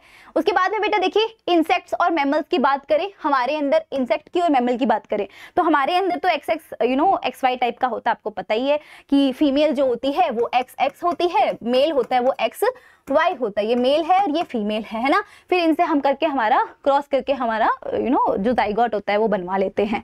तो कुछ इस तरीके से, ये जो double A plus X Y दिया हुआ बेटा डबल ए क्या है यहाँ पर? आपको पता है, हमारे अंदर twenty three pair of chromosome होते हैं that means forty six chromosome होते हैं। ट्वेंटी थ्री पेयर में से आपको पता है, मेरे पास में ट्वेंटी टू पेयर जो होते हैं, वो ऑटोसोम्स होते हैं। ऑटोसोम का मतलब वो होता है बेटा जो बॉडी के नॉर्मल चीज़ें जो उनको कंट्रोल कर रहे होते हैं। जैसे बॉडी का कल मतलब बॉडी में स्किन का कलर हो गया, आपके हेयर का कलर हो गया आई का कलर हो गया, इन सब चीज़ों को फिनोटिपिक कैरेक्टर को मतलब कंट्रोल कर रहे होते हैं, वो ऑटोसोम्स होते हैं। ये कभी भी एक पीढ़ी से दूसरी पीढ़ी में ट्रांसफ़र नहीं हो रहे होते हैं, लेकिन आपके पास में बेटा जो बच गया, एक पेयर होता है वन पेयर मतलब ये भी ट्रांसफ़र होते हैं बट जो सेक्स डिटर्मिनेशन होता है कि जेंडर जेंडर वो हम कैसे पता लगाते हैं? इससे वन पेयर से। ये जो होता है बेटा एलोसोम होता है, और ये एक पेयर जो होगा, वो एलोसोम फीमेल में एक्स एक्स होता है और मेल में एक्स वाई होता है। समझ पा रहे हो मैं एक्स वाई क्यों लिख रही हूँ? क्योंकि ये पेयर है, ये एक और ये दो। पेयर है ये। ये मेल में है और A A plus X X की बात करूँ तो वो क्या होता है? फीमेल होता है। समझ पा रहे हो? इस तरीके से, है ना? ये एलोसोम्स हमारे पास होते हैं। उसके बाद बेटा बर्ड की बात करें तो बर्ड्स में आपके पास में दो तरीके के क्रोमोजोम होते हैं। एक जेड होता है, एक डब्ल्यू होता है। अब जेड जेड मिले तो क्या होगी ये फीमेल सॉरी जेड जेड मिले तो ये होगा मेल और जेड डब्ल्यू मिले तो ये हो जाती है बेटा फीमेल बस आपको इतना ध्यान रखना है। बर्ड्स में फीमेल जो होती है वो हमेशा हिटेरोगेमिटी शो कर रही होती है वेरी इंपॉर्टेंट उसके बाद में बेटा हैप्लोप्लॉइडी मिलती है, जो हनी बीज में मिलती है। हनी बीज जो होती है ना, वो मधुमक्खियाँ, जिसमें क्या होता है, जिसमें अलग तरीके का सेक्रेटोमिनेशन होता है। इसमें तीन तरीके के मेंबर्स होते हैं। मधुमक्खी का छत्ता देखा होगा कभी? तीन तरीके के मेंबर्स होते हैं। क्वीन होता है, एक आपके पास में ड्रोन होते हैं वर्कर बीज होती है। क्वीन जो होती है बेटा फर्टाइल होती है मतलब किसी अगले आने वाली जनरेशन को पैदा करने के लिए सक्षम है। फर्टाइल का मतलब होता है आगे आने वाली जनरेशन को पैदा करने में सक्षम है और डिप्लॉयड है ये टू एन है। गॉट इट ये फर्टाइल है और डिप्लॉयड है। ड्रोन जो होते हैं बेटा, ये भी फर्टाइल है, ये भी आने वाली जनरेशन को पैदा कर सकते हैं, लेकिन ये हैप्लॉइड होते हैं। वर्कर बीज जो होती है बेटा इसमें क्या होता है ना, ये स्टेराइल होते हैं। स्टेराइल का मतलब ये बांझ होते हैं, ये पैदा नहीं कर सकते हैं बच्चे। ये खुद पैदा होंगे लेकिन ये सिर्फ़ काम करेंगे। इनके नाम के अकॉर्डिंग मतलब काम करेंगे। सिर्फ़ इधर से उधर काम करना शहद इकट्ठा करना बस ये इनका काम होता है। ये बच्चे पैदा करने में इन, इनका रोल नहीं होता। किसका होता है? क्वीन एंड ड्रोन का होता है। इसका नहीं होता वर्कर बीस का। लेकिन वर्कर बीस जो होती है क्वीन से एक कैरेक्टर लेके आती है दैट इज़ ट्वेन डिप्लॉयड होती है ठीक है? जबकि होती स्टेराइल है। ये हैप्लॉयड होता है एकमात्र ठीक है? तो यहाँ देखिए क्वीन बीज जो होती है ड्रोन होती है। इनके अंदर कैसे आपका हो रहा होता है? क्वीन बी जो होती है बेटा टू एन है और हमारे टू एन के अकॉर्डिंग तो बेटा हमारे अंदर फोर्टी सिक्स क्रोमोजोम होते हैं। हमारी हैप्लॉइड सेल के अंदर कितने क्रोमोजोम होते हैं? हैप्लॉइड सेल के अंदर।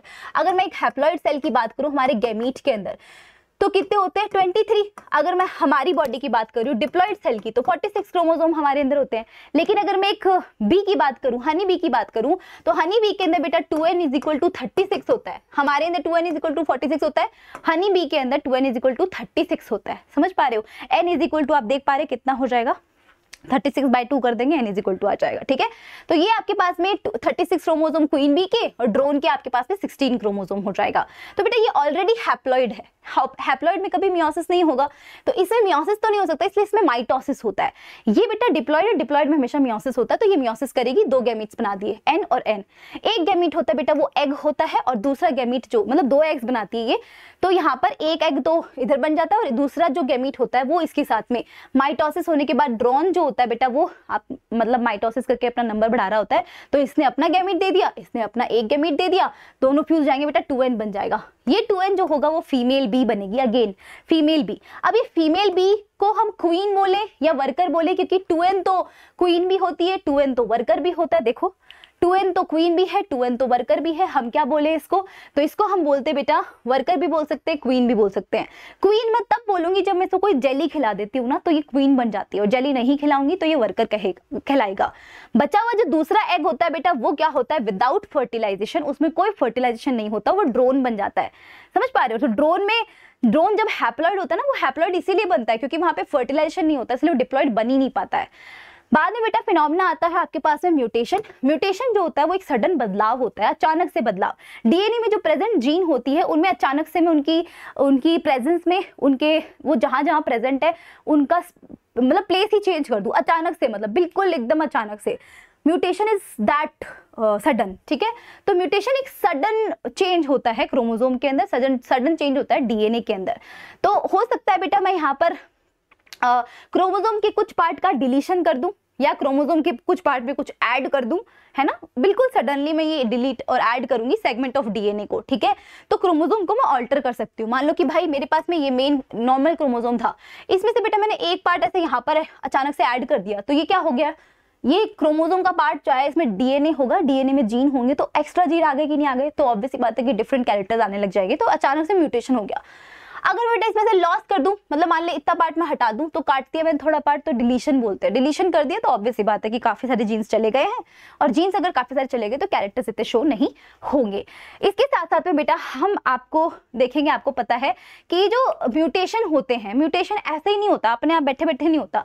म्यूटेशन बेटा किसी कारण की वजह से होता है, और कारण देखो वो होते हैं म्यूटाजेंस मतलब ऐसे कौन से कैरेक्टर्स हैं जो म्यूटेशन कॉज कर रहे हैं, ऐसे कौन से चीज़ें हैं जो म्यूटेशन को कॉज करती हैं तो सबसे पहले बेटा रेडिएशन जो यूवी रेज के बहुत ज़्यादा कॉन्टैक्ट में रहता है, जो एक्सरेज बहुत ज़्यादा करवाता है मतलब एक्सरेज के ज़्यादा कॉन्टैक्ट में आता रहता है, म्यूटेशन होने के चांसेस बढ़ते हैं। केमिकल्स भी होते हैं बेटा जो इसमें इंक्लूडेड होते हैं, जो सिगरेट वगैरह पीता है सिगरेट के अंदर स्मोकिंग के अंदर केमिकल्स होते हैं म्यूटाजेनिक केमिकल्स जो म्यूटेशन करवाते हैं। साथ साथ में बेटा आप देख पा रहे हैं, यहाँ पर बेंजॉइल पर होता है है ना? ये नाइट्रेट नाइट्रेट प्रिजर्वेटिव होते हैं। ये होते हैं। साथ में बेटा इन्फेक्शियस एजेंट्स भी होते हैं जो ये म्यूटेशन कॉज करवाते हैं, जैसे कि एचपीवी ह्यूमन पेपेलियोमा वायरस जो होता है। आप मुझे जल्दी से कमेंट्स में बताएँगे कि एचपीवी ह्यूमन पेपेलियोमा वायरस कौन सी डिज़ीज़ कॉज करता है। दो ऑप्शन देती हूँ जेनाइटल वार्ड्स और हर्पीस कौन सी कॉज करता है? दो में से एक ही करता है। जेनाइटल वार्ड्स और जेनाइटल हर्पीस जल्दी से मुझे बताएँगे। हेलिकोबैक्टर पाइलोराई जो होता है ना बेटा, वो भी क्या करता है? इन्फेक्शियस होता है और ये कॉज कर सकता है म्यूटेशन यस बेटा? हाँ जी ठीक है आगे चलते हैं। पेडिग्री एनालिसिस बेटा पेडिग्री एनालिसिस जो होता है बेटा कुछ नहीं है। सेवरल जनरेशन तक हम देखते जाते हैं कि भाई हमारे दादा परदादा में ये बीमारी थी तो कहीं हमारे अंदर तो नहीं आ जाएगी। तो हम वो पूरा पैटर्न देखते कि भाई दादा में ऐसे थी तो दादा से पापा में आई है कि नहीं? है ना? कुछ इस तरीके, हमारी बुआ में आई है कि नहीं? हम उनमें, उनसे हमारे अंदर आ सकती है कि नहीं? तो वो कैसे पूरा का पूरा एनालिसिस करते हैं, उसको पेडिग्री एनालिसिस कहते हैं। इसको बेटा फैमिली ट्री बनाना बोल रहे होते हैं हम, ठीक है? तो फैमिली का पूरा का पूरा ओवरव्यू हम ले रहे होते हैं। यहाँ पर कुछ आपके पास सिंबल्स दिए हुए हैं। बॉक्स बना होगा तब मेल है गोल गोल होगी तो फीमेल है। सेक्स अनस्पेसिफाइड हमें पता नहीं वो मेल है या फीमेल है तो ऐसा दिखेगा आपको।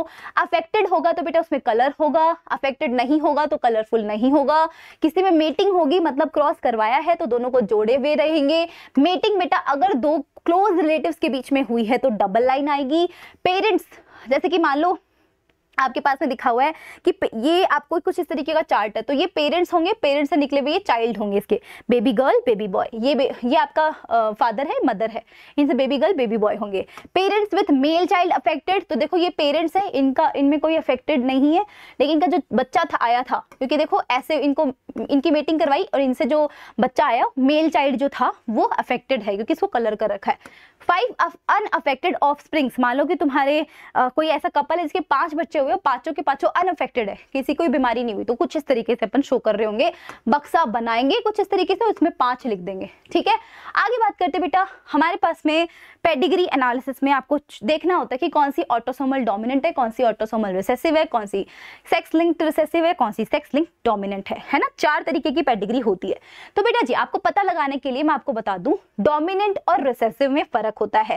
कैसे पता लगाएँगे? डोमिनेंट अगर कोई भी पेडिग्री होगी तो आप हमेशा देख लेना उसके पेरेंट भी क्या होंगे अफेक्टेड होंगे। अगर पेरेंट भी अफेक्टेड है, बच्चा भी अफेक्टेड है है ना? हर पीढ़ी में, कोई भी स्किप नहीं हो रही जनरेशन हर जनरेशन में पेरेंट पेरेंट तो अफेक्टेड था ही, हर जनरेशन में एक ना एक अफेक्टेड है ही। तो क्या होगा? ये डोमिनेंट होगा। अगर रिसेसिव होता तो बेटा रिसेसिव ऐसा होता है कि पेरेंट्स कभी अफेक्टेड नहीं मिलेंगे और जनरेशन स्किप होती है यहाँ पर। पेरेंट्स अफेक्टेड नहीं है बच्चा अफेक्टेड आ गया, है ना? तो यहाँ पर पेरेंट्स अफेक्टेड नहीं थे, फिर भी बच्चा बच्चा यहाँ पर अफेक्ट होके आ गया। तो ये हो जाता बेटा रिसेसिव है ना? तो ये रिसेसिव कैरेक्टर होता है। पेरेंट्स भी अफेक्टेड है, बच्चा भी है तो ये डोमिनेंट हो जाएगा। तो ये ऑटोसोमल हो जाएगा बेटा। ऑटोसोमल का मतलब है यहाँ पर कि आपके जो ऑटोसोम्स होते हैं ना आपके सेक्स क्रोमोसोम्स नहीं ऑटोसोम्स वो ऑटोसोम्स जो ट्वेंटी टू पेयर्स होते हैं, वो यहाँ पर इफ़ेक्ट हो रहे होते हैं। इनके एग्जाम्पल्स आप याद रख लेंगे, बेटा। टंग रोलिंग एबिलिटी है ना? पॉलीडेक्टाइली एग्ज़ाम्पल ऑटोसोमल डोमिनेंट के होते हैं, जो आपसे नहीं पूछे जाएँगे। ऑटोसोमल रिसेसिव के क्वेश्चन आपसे पूछे जाएँगे, बेटा। Albinism and sickle cell anaemia जिसमें भी सबसे ज़्यादा इंपॉर्टेंट है सिक्कल सेल एनीमिया कि सिक्कल सेल एनीमिया किस तरीके की पेडिग्री एनालिसिस है? ऑटोसोमल रिसेसिव एनालिसिस होता है। सिक्कल सेल एनीमिया क्या होता है बेटा? वो उसके ऊपर पूरा बताऊँगी, तब आपको पता चलेगा सिक्कल सेल एनीमिया में कौन अफेक्ट होता है? मेल होता है फीमेल होता है। एनसीआरटी में बेटा दो पेडिग्रीज दे रखी है आपको। एक सिक्कल सेल एनीमिया ऑलरेडी मैं आपको बता चुकी हूँ। एक होता है बेटा मायोटोनिक डिस्ट्रॉफी है ना, ये मसल से रिलेटेड डिज़ीज़ होती है तो आपको याद रखना है myotonic dystrophy is a muscular disease और ये हमेशा कैसी होती है? आपकी ऑटोसोमल डोमिनेंट ट्रेट होता है। तो ऑटोसोमल है मतलब देखो पेरेंट अफेक्टेड है हर एक, कोई भी जनरेशन स्किप नहीं हो रही यहाँ पर तो हर एक जनरेशन में प्रेजेंट होगा। उसके बाद जेनेटिक डिसऑर्डर्स आते हैं। जेनेटिक डिसऑर्डर्स दो तरीके के होते हैं बेटा। एक होता है मेंडेलियन डिसऑर्डर एक होता है क्रोमोजोमल डिसऑर्डर मेंडेलियन डिसऑर्डर्स में ये होते हैं सारे के सारे। रटने की ज़रूरत नहीं है, सिर्फ़ आप इसको याद रखें क्रोमोजोमल डिसऑर्डर को। ये सिंड्रोम जो जहाँ पर भी आएगा बेटा, वो सारे क्रोमोजोमल डिसऑर्डर है। इनको छोड़ के जो भी है, वो मेंडेलियन डिसऑर्डर्स है। ठीक है? Down syndrome Turner syndrome Klinefelter syndrome ये तीन ही सिंड्रोम आपके एनसीईआरटी में गिवन है। हालाँकि बहुत सारे सिंड्रोम्स और पढ़ाते हैं। पटाऊ सिंड्रोम है ना? एडवर्ड सिंड्रोम वो आपको पढ़ना चाहो, पढ़ सकते हो। अगर नीट की प्रिपरेशन कर रहे हो, नहीं कर रहे हो तो आपको सिर्फ़ एनसीईआरटी पे स्टिक रहना है। तो ये सिंड्रोम जहाँ पर भी आए क्रोमोजोमल नहीं आए तो मेंडेलियन ठीक है? तो हीमोफीलिया बेटा, सबसे पहले हम मेंडेलियन डिसऑर्डर्स की बात कर लेते हैं। सबसे पहले हम हीमोफीलिया की बात करते हैं। हीमोफीलिया के अंदर एक्चुअली में क्या हो रहा था? देखो हीमोफीलिया जो होता है, इसमें एक ऐसी डिज़ीज़ होती है जिसमें एक सिंगल प्रोटीन जो कि एक मतलब एक्चुअली देखो मैं नॉर्मल भाषा में बताती हूँ। हीमोफीलिया नाम में हीमो हीमो मतलब ब्लड से रिलेटेड होता है। ये एक ऐसी बीमारी होती है जिसमें बेटा अगर आपको चोट लग गई तो जनरली क्या होता है, हमारे चोट लगते ही खून आना बंद हो जाता है। हीमोफीलिया में खून आना बंद नहीं होता, बस बहता ही रहता है, बहता ही रहता है। एक बार चोट लग गई ना तो फिर गया। आप में इतना खून ब्लड का लॉस हो जाएगा कि बस एकदम वीकनेस आ जाएगी। तो ये ऐसी डिज़ीज़ होती है, ठीक है? ये जो होती है बेटा सेक्स लिंक्ड रिसेसिव होती है, ये सबसे ज़्यादा इंपॉर्टेंट है। ये आपको ना सारी चीज़ें याद रखने की ज़रूरत है कि माइटोनिक डिस्ट्रॉफी कैसी है? ऑटोसोमल डोमिनेंट राइट आपका जो सिक्कल सेल एनीमिया है, वो ऑटोसोमल रिसेसिव हीमोफीलिया कैसा है? सेक्स लिंक्ड रिसेसिव समझ पा रहे हो? तो ये सेक्स लिंक रिसेसिव है। दैट दैट मींस कि यहाँ पर सेक्स क्रोमोजोम जो एक्स क्रोमोजोम है वाई क्रोमोजोम वो इन्वॉल्व रहते हैं। ऑटोसोम्स में कभी भी एक्स और वाई क्रोमोजोम इन्वॉल्व नहीं रहते यहाँ रहते हैं। यहाँ पर क्या होता है बेटा? ये डिज़ीज़ ट्रांसमिट करी जाती है अनअफेक्टेड कैरियर फीमेल से मेल प्रोजेनी के अंदर। देखिए, आपके पास में क्या होता है बेटा? ये जनरली फीमेल में जो हमारी फीमेल होती है ना ये कैरियर होती है हीमोफीलिया के लिए। कि फीमेल में बेटा एक्स एक्स क्रोमोजोम होता है, तभी तो हम इसको फीमेल बोलते हैं। तो यहाँ पर बेटा अगर आपके पास में हीमोफीलिया का जीन दोनों एक्स क्रोमोजोम पे है, दोनों सेक्स क्रोमोजोम पे है तो ये फीमेल जो होती है बेटा वो अफेक्टेड होती है इसको बीमारी है। समझ पा रहे हो, ये बीमार है बीमार है। अगर मैं बोल दूँ, बेटा, खाली ऐसी फीमेल है, जिसके अंदर एक एक्स क्रोमोजोम पे कुछ नहीं है, एक एक्स क्रोमोजोम पे हीमोफीलिया का जीन है। दैट मीन्स कि बेटा, ये अफेक्टेड नहीं है कैरियर है। कैरियर का मतलब इसके पास बीमारी वाला जीन है, इसके अंदर शो नहीं हो रहा, लेकिन ये किसी और को पास करेगी तो उसको बीमार ज़रूर कर देगी। ये खुद बीमार नहीं है कैरियर है ये। एक्स वाई जो होगा बेटा, ये नॉर्मल बंदा है, ये नॉर्मल मैन है, या नॉर्मल बॉय है, आप बोल सकते हैं। लेकिन बेटा, अगर मान लो एक्स क्रोमोजोम के ऊपर हीमोफीलिया का जीन यहाँ मिल गया वाई पे तो होता नहीं है हीमोफीलिया का जीन हीमोफीलिया का जीन बेटा सिर्फ़ एक्स क्रोमोजोम को ही अफेक्ट करता है। तो अगर यहाँ पर एक्स क्रोमोजोम पे है तो यहाँ पर ये अफेक्टेड मैन हो जाएगा। अफेक्टेड बॉय होगा या अफेक्टेड मैन होगा, ये बीमार होगा। समझ पा रहे हो? इसको बीमारी होगी, हीमोफीलिया वाली। समझ पा रहे हो? तो यहाँ पर ये चार चीज़ें नोट कर लेना एनसीआरटी के अंदर बहुत इंपॉर्टेंट है। तो जनरली यहाँ पर क्या होता है ना फीमेल्स जो होती है, वो कैरियर की तरह बिहेव कर रही होती है। बहुत कम ऐसी कंडीशन होती है जहाँ पे फीमेल अफेक्टेड होती है। तो फीमेल बहुत रेयर कंडीशन में अफेक्टेड होती है, लेकिन मेल जो होता है बेटा, वो बहुत नॉर्मल इफ़ेक्ट होना मेल को बहुत आराम से अफेक्ट कर देती है। तो यहाँ पर एक्सट्रीमली रेयर होता है क्या? फीमेल का हिमोफिलिक होना, जबकि फीमेल जो होती है बेटा, वो कैरियर होती है, और फादर जो होता है, क्योंकि देखो, ये आपसे सवाल आ सकता है कि क्यों हिमोफीलिया के अंदर फीमेल जो होती है, वो हिमोफिलिक नहीं होती? क्यों फीमेल हमेशा कैरियर होती है, क्यों फीमेल अफेक्टेड नहीं है? इसके लिए बेटा फीमेल को अफेक्टेड बनाने के लिए इसकी मदर को तो क्या होना पड़ेगा? एटलीस्ट कैरियर और फादर को क्या होना पड़ेगा? हीमोफिलिक कैसे? कि अगर मुझे मान लो एक हीमोफिलिक फीमेल बनानी है तो हीमोफिलिक फीमेल बनाने के लिए मैं क्या करूँगी? मेरे पास में जो वो फीमेल बनानी हो बच्ची बनानी जिसको हीमोफीलिया है तो उसकी मदर जो होगी, उसको तो मैं कैरियर बना देती हूँ। उसका फादर बेटा उसको अफेक्टेड कर देती हूँ, है ना? तभी तो होगा ना ये एक्स इस एक्स के साथ में, है ना? ये एक्स इस वाई के साथ में, ये एक्स एच इस एक्स एच के साथ में, और ये एक्स एच इस वाई के साथ में। चार बच्चे आ गए। एक बच्चा जो है वो एक्स एच एक्स एच ये अफेक्टेड फीमेल है। तभी तो आएगी ना अफेक्टेड फीमेल अगर ऐसी कंडीशन होगी। तो बेटा, ऐसी कंडीशन तो हो ही नहीं सकती ना, क्योंकि ये तो बचेगा ही नहीं ना। ये रिप्रोडक्शन तो तब करेगा जब बचेगा, दुनिया में साँसें लेगा, तभी तो होगा ना। फिर सांस ही नहीं ले रहा है, क्योंकि हीमोफीलिया अगर होगा तो ऑब्वियस बात है कि मरी जाएगा ना, फिर बाद में क्या ही रिप्रोडक्शन कर लेगा ये। तो ये जैसे ये कभी भी एग्जिस्ट नहीं करती है। फीमेल्स कभी भी हीमोफिलिक नहीं होती है, बहुत रेयर होता है तो इसके ऊपर आप देख सकते हैं यहाँ पर। हाँ जी। इसका जो होता है बेटा, आप देख सकते हैं यहाँ पर इस तरीके से। मदर जो है बेटा कैरियर है, देखो हाफ़ इसका मतलब है हाफ़ क्रोमोजोम पे हीमोफिलिक जीन है हाफ़ पे नहीं है। ये बेटा नॉर्मल है है ना? इसके बाद में इनसे क्रॉस हुआ तो इस तरीके से आ जाता है। तो ये आपको ध्यान रखना है बेसिकली सिकल सेल एनीमिया जो होता है बेटा, एक ऐसी बीमारी होती है जहाँ पर म्यूटेशन होता है। म्यूटेशन देखिए कैसे होता है यहाँ पर। ये आपके पास में बेटा डीएनए है। डीएनए से जो आरएनए बनता है, आपने देखा होगा। जी ए जी जो था यहाँ पर जी ए जी था। सिकल सेल आरबीसी में क्या चेंज आ जाता है? मतलब सिकल सेल में क्या क्रोमोजोम में चेंज आता जी ए जी जो था, वो ग्लूटामिन को कर रहा था, क्योंकि जी ए जी एक एमिनो एसिड को कर रहा है, वो ग्लूटामिन एमिनो एसिड इसको रिप्रेजेंट कर रहा है। ये जो होगा बेटा ए की बजाय यहाँ पर क्या आ जाता है? यू आ जाता है आर के अंदर। तो एडेनिन का यूरेसिल के साथ में रिप्लेसमेंट हो जाता है। तो ये ध्यान रखना कि ए की बजाय यू आ जाता है। ये कई बच्चे सोचते हैं डीएनए में हुआ है ये। नहीं, ये डीएनए में नहीं होता, ये आरएनए में होता है, क्योंकि यू जो होता है ना, वो तो आरएनए में मिलता है यूरेसिल तो। डीएनए में तो थाइमिन मिलता है। तो डीएनए में नहीं आरएनए में एडेनिन की बजाय यूरेसिल का आ जाना, तब बोलते हैं हम सिक्कल सेल एनीमिया या फिर अगर डीएनए के पर्सपेक्टिव से बोलो तो एडेनिन की बजाय थाइमिन आ गया। समझ पा रहे हो? तो यहाँ पर जो है, बेटा, पहले वो ग्लूटामिन जी ए जी जो था, वो ग्लूटामिन को कर रहा था। अब जी यू जी जो है, वो वैलिन को करेगा। तो ये यहाँ पर नॉर्मल प्रोटीन आया था। अब जो प्रोटीन आएगा, वो म्यूटेंट प्रोटीन आएगा, बदला हुआ प्रोटीन आएगा। इसकी वजह से, बेटा, जो हमारी आरबीसी है ना? कुछ इस तरीके की प्रेजेंट थी, अभी आरबीसी हंसियाकार हो जाएगी, बिल्कुल ऐसे बहुत ज़्यादा, है ना? सिक्कल टाइप की, सिक्कल देखा ना हंसिया, उसके जैसी हो जाती है यहाँ पर। तो ये जो होता है बेटा, ये किस तरीके की बीमारी होती है, बस ये ध्यान रखना, ये ऑटोसोमल लिंक्ड रिसेसिव होती है, यहाँ पर सेक्स क्रोमोजोम इन्वॉल्व नहीं होते हैं। तो यहाँ क्या होता है ना कि आपके पास में एच हीमोग्लोबिन के अंदर चेंज आया ना आरबीसी जो है उसका शेप चेंज हो जाता है ना यहाँ पर। तो अगर बेटा एच एस है तो ये होता है कैरियर ठीक है? H B A H B A है तो ये है बेटा normal H B S H B S है तो ये सिक्कल सेल एनीमिया है इसको. समझ पा रहे हो? तो ये तीन कंडीशंस आपके पास में हो जाती है। ठीक है? तो ये आपसे पूछा जा सकता है। जैसे कि देखिए, आप, आपको बताया गया कैरियर मैन और कैरियर विमेन मैंने बोला था ना कि ए और एस होगा तो कैरियर होगा ए ए होगा तो नॉर्मल होगा एस एस होगा तो सिक्कल सेल एनिमिक होगा, ठीक है? तो अगर मान लेते हैं कैरियर मैन और कैरियर विमेन है तो कैरियर मैन के ऑटोसोम्स में ऑटोसोम की बात चल रही है। हमने एक्स एक्स एक्स वाई कहीं नहीं लिखा ना ऑटोसोम्स की बात चल रही है, क्योंकि ऑटोसोम रिसेसिव लिंक डिज़ीज़ होती है। रिसेसिव क्यों? क्योंकि जब आप उसकी पेडिग्री देखोगे तो इसके जो यू नो पेरेंट्स होते हैं, वो अफेक्टेड नहीं होंगे। क्योंकि पेरेंट्स तो कैरियर है ना यहाँ पर अफेक्टेड नहीं है। इसलिए बेटा ये आपके गैमीट्स बन जाते हैं, इन गैमीट्स के अंदर पनेट स्क्वायर बनाते हैं तो कुछ इस तरीके से आता है आपके पास में। ये दो कैरियर बनते हैं, एक नॉर्मल बनता है और एक सफरर बनता है, जिसको सिक्कल सेलेनिमिया ऑलरेडी हो रखा है। फिर बेटा आता है phenylketonuria phenylketonuria एक ऐसी डिज़ीज़ है, जिसमें बताया था मैंने ऑटोसोमल रिसेसिव है गेन ये ऑटोसोमल रिसेसिव है बेटा, ध्यान रखेंगे। ऑटोसोमल डोमिनेट सिर्फ़ एक मायोटोनिक डिस्ट्रॉफी है, ठीक है? इसके अलावा सारी ऑटोसोमल रिसेसिव है। आपकी एक हीमोफीलिया ले लो आप और एक कलर ब्लाइंडनेस आएगा। वो है सेक्स लिंक्ड रिसेसिव इसके अलावा सब ऑटोसोमल रिसेसिव है बेटा, लिखवा के ले लो आप। सारे ऑटोसोमल रिसेसिव है, खाली दो कौन? हीमोफीलिया एंड अभी कलर ब्लाइंडनेस आएगा, वो पढ़ाऊँगी। दो हैं जो सेक्स लिंक रिसेसिव है और एक है आपके पास में ऑटोसोमल डोमिनेंट वो तो है ही एक माइटोनिक डिस्ट्रॉफी उसके अलावा है ही नहीं आपके पास, ठीक है?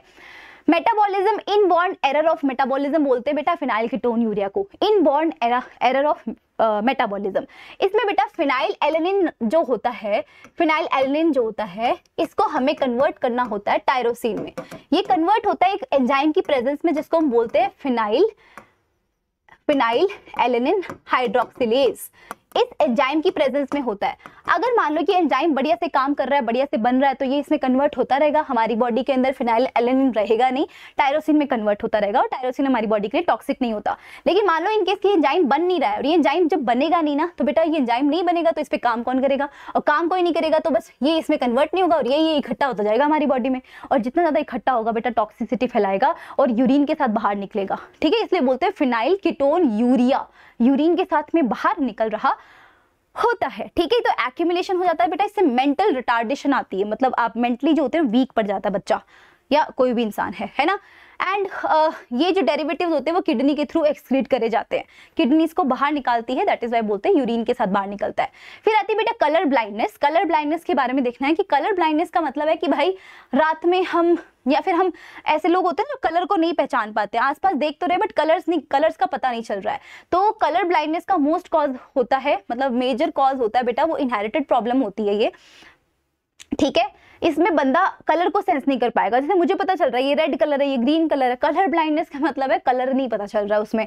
तो जितने भी ह्यूमन बींग्स होते हैं ना फीमेल्स जो होते हैं कलर ब्लाइंड मतलब आ, मतलब जो हमारे मेल्स होते हैं मेल्स के अंदर males are more likely to be colour blind than females males में कलर ब्लाइंडनेस ज़्यादा होता है फीमेल्स में नहीं होता है।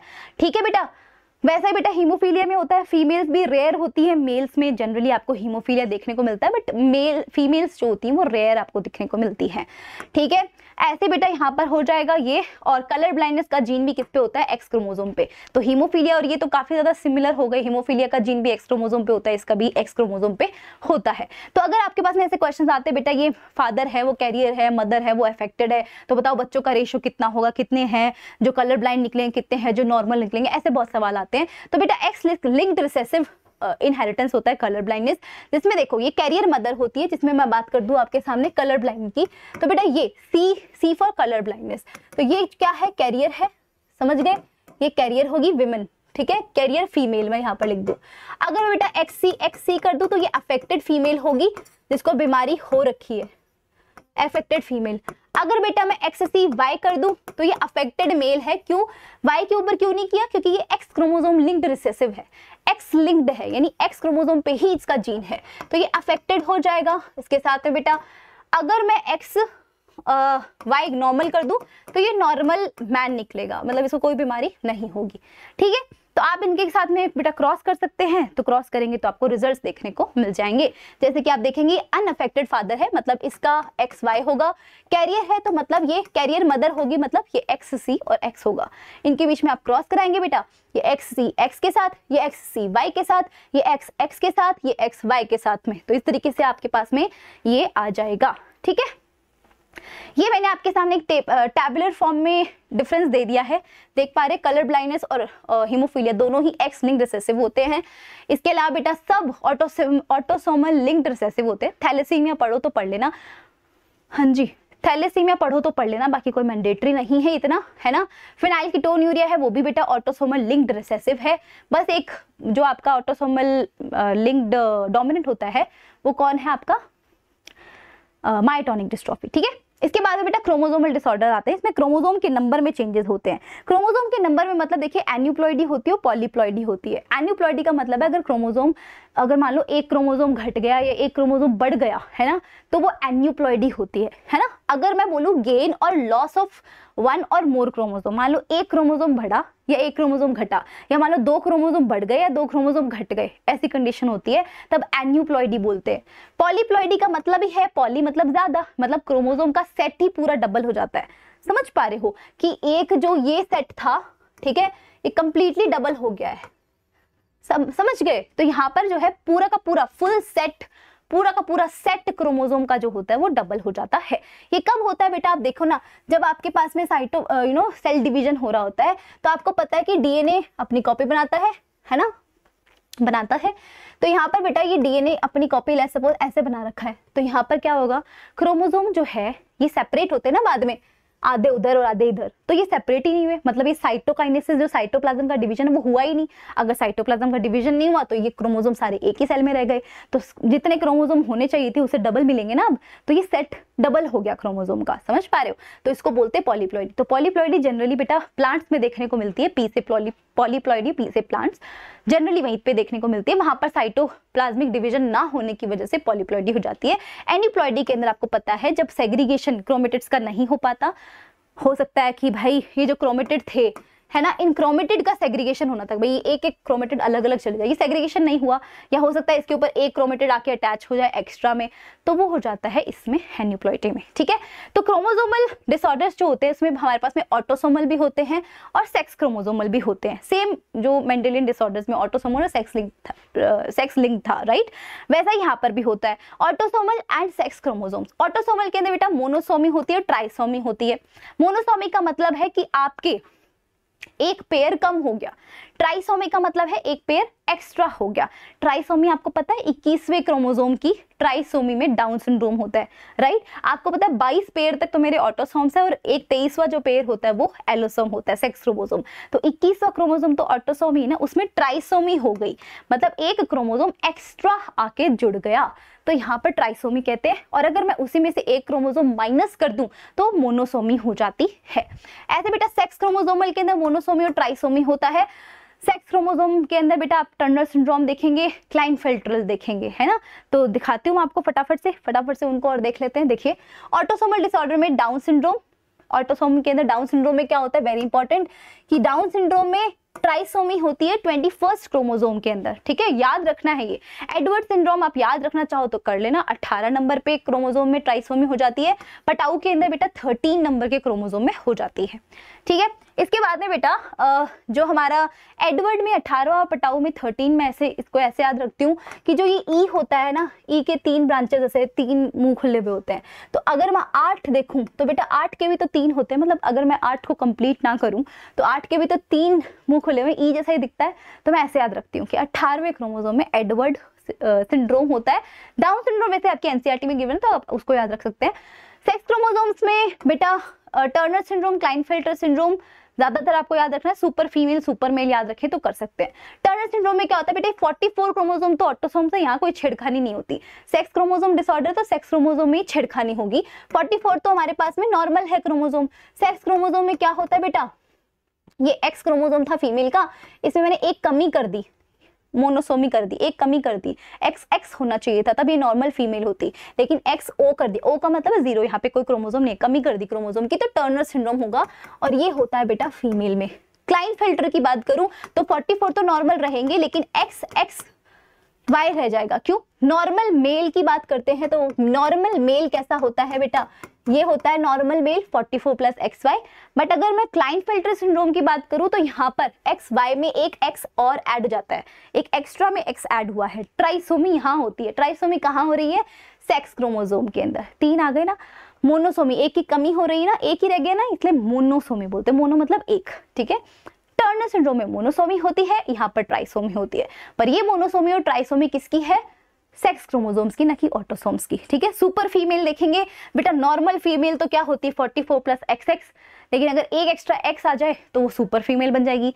एक एक्स्ट्रा वाई आ जाए तो सुपर मेल बन जाएगा। क्योंकि नॉर्मल मेल तो एक्स वाई होता है। अगर एक एक्स्ट्रा वाई लाऊँगी तो नॉर्मल से वो सुपर बन जाएगा। डाउन सिंड्रोम देखेंगे बेटा trisomy of twenty first chromosome और लैंगडन डाउन ने सबसे पहली बार डिस्कवर किया था 1866 के अंदर। इसमें क्या होता है ना कुछ फीचर्स है मतलब ऐसे ऐसे कैरेक्टर शो कर रहा होता है डाउन डाउन सिंड्रोम में जो बच्चा होता है ना ऐसे कैरेक्टर शो करता है। शॉर्ट uh, uh, मतलब जो इसका राउंड हेड होता है गोल सा हेड होता है उसका सर और साथ में इसका जो फ्यूरो टंग होती है, टंग के ऊपर दरार होती है। साथ में बेटा पार्शली ओपन रहता है उसका माउथ ऐसे माउथ बंद नहीं हो पाता, थोड़ा सा बहुत खुला ही रहता है। पाम जो होती है, थोड़ी ब्रॉड होती है, उस पर क्रीज प्रेजेंट होती है पाम क्रीज ठीक है?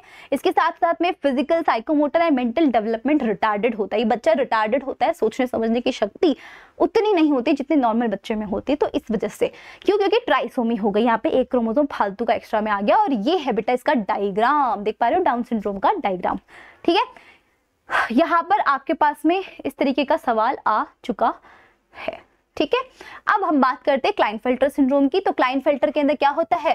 क्लाइन फ़िल्टर के अंदर एक एक्स क्रोमोसोम एडिशनल आ जाता है नॉर्मल मेल नॉर्मल मेल बेटा, जहाँ पर क्या होता है? X X sorry X Y ठीक है? इस एक्स वाई में नॉर्मल मेल में एक एक्स्ट्रा में एक्स ऐड हो जाता है। तो सोचो ना मेल में एक एक्स और एक वाई था, अब क्लाइन फ़िल्टर में एक एक्स एक्स्ट्रा आ गया। तो एक्स क्रोमोजोम हमेशा फीमेल कैरेक्टर शो करता है। तो क्लाइन फ़िल्टर सिंड्रोम जिस भी इंसान को होगा, जिस भी मेल को होगा, उसके अंदर फीमेल कैरेक्टर ज़्यादा डेवलप होंगे क्योंकि एक एक्स क्रोमोजोम एक्स्ट्रा आया हुआ है। तो आप देखेंगे इस मेल को, इसके जो ब्रेस्ट डेवलपमेंट होता है बेटा, वो जनरली मेल के अंदर इतना नहीं होता है, लेकिन डेवलपमेंट ब्रेस्ट का फीमेल्स में होता है। वो एक्सट्रोमोजोम की वजह से होता है, लेकिन यहाँ पर मेल में भी होने लगेगा, क्योंकि इसके पास एक एक्स्ट्रा एक्स क्रोमोजोम होता है। फेमिनाइन कैरेक्टर्स आएँगे और जब भी बेटा ये फेमिनाइन कैरेक्टर्स आते हैं मेल के अंदर इस प्रोसेस को बोलते हैं गायनिकोमास्टिया गॉट इट स्ट्रक्चर जो होता है, इसको हम केरियोटाइप बोल रहे होते हैं। बेटा, आप देखो, इस मेल के अंदर तो फीमेल वाले कैरेक्टर आने लग गए। इसका जब केरियोटाइप चेक किया तो ये नॉर्मल नहीं था अब नॉर्मल था। इसमें एक एक्स क्रोमोसोम एक्स्ट्रा था। तो इस वजह से बेटा ये जो मेल होते हैं ना, वो फर्टाइल नहीं होते, बच्चे पैदा नहीं कर सकते, वो स्टेराइल होते हैं बांझ होते हैं वो बच्चे, बांझ होते हैं वो मेल ठीक है? टर्नर सिंड्रोम तो मोनोसोमी होता है मतलब यहाँ पर नॉर्मल फीमेल कैसी होती है? 44 फोर प्लस एक्स एक्स लेकिन यहाँ टर्नर सिंड्रोम में जो फीमेल होती है, उसमें क्या होता है ना बेटा? एक एक्स क्रोमोजोम हटा दिया जाता है। एक एक्स क्रोमोजोम रिमूव हो जाता है तो यहाँ पर एक्स ओ आ जाएगा। समझ पा रहे तो एक एक्स क्रोमोजोम की कमी हो गई। कमी हो गई मतलब मोनोसोमी हो गया। अब जितने फेमिनाइन कैरेक्टर यहाँ डेवलप हो रहे थे, क्या यहाँ पर फेमिनाइन कैरेक्टर उतने आएँगे? नहीं आएँगे, क्योंकि एक्स क्रोमोजोम ही कम हो गया। एक्स क्रोमोजोम ही तो है जो फीमेल को फीमेल बना रहा था। अगर वो क्रोमोजोम ही कम हो गया तो यहाँ पर फेमिनाइन कैरेक्टर उतने ज़्यादा डेवलप नहीं होंगे। और फेमिनाइन नहीं आएँगे तो कैसे कैरेक्टर आएँगे? मेल कैरेक्टर तो यहाँ पर इस फीमेल में फेमिनाइन कैरेक्टर तो होंगे बट फेमिनाइन से भी ज़्यादा मेल कैरेक्टर डोमिनेंट होंगे। आवाज़ का भारी हो जाना, है ना? मेल जैसे कैरेक्टर्स आने लगेंगे यहाँ पर। समझ पा रहे हो? तो ओवेरीज जो होती हैं, वो भी इनकी स्टेराइल होने लगेगी। मतलब ओवेरीज इतनी अच्छे से काम नहीं करेंगी ओव्यूलेशन नहीं होगा गैमिट फॉर्मेशन नहीं होगा, क्योंकि एक्स क्रोमोजोम ही कम हो गया, है ना? क्रोमोजोम था एक्स क्रोमोजोम था, उस वजह से तो सारा था बेटा खेल। अब वो वही नहीं रहा तो फिर काहे की फीमेल रही, है ना? तो ये हो जाता है बेटा 44 फोर प्लस एक्स ओ या फिर हम बोल सकते हैं, ये बेटा 45 क्रोमोजोम रह जाते हैं उसमें, क्योंकि एक एक्स क्रोमोजोम हटा दिया ना हमने तो 45 हो जाते हैं। और यहाँ पर टोटल कितने क्रोमोजोम हो जाते हैं? एक क्रोमोजोम एक्स्ट्रा ऐड हुआ है तो ये टोटल इसके अंदर 47 क्रोमोजोम हो जाते हैं। 44 प्लस टू फोर्टी सिक्स थे, लेकिन एक एक्स्ट्रा आ गया तो फोर्टी सेवन हो गया। Forty four plus two forty six होने चाहिए थे, लेकिन एक घट गया मतलब ओ आ गया तो फोर्टी फाइव हो गए। तो फोर्टी फाइव मतलब टर्नर सिंड्रोम यहाँ पर हो गया। ये फीमेल्स जो होती है, बांझ कहलाती है, इनकी ओवरीज अच्छे से काम नहीं कर रही होती हैं।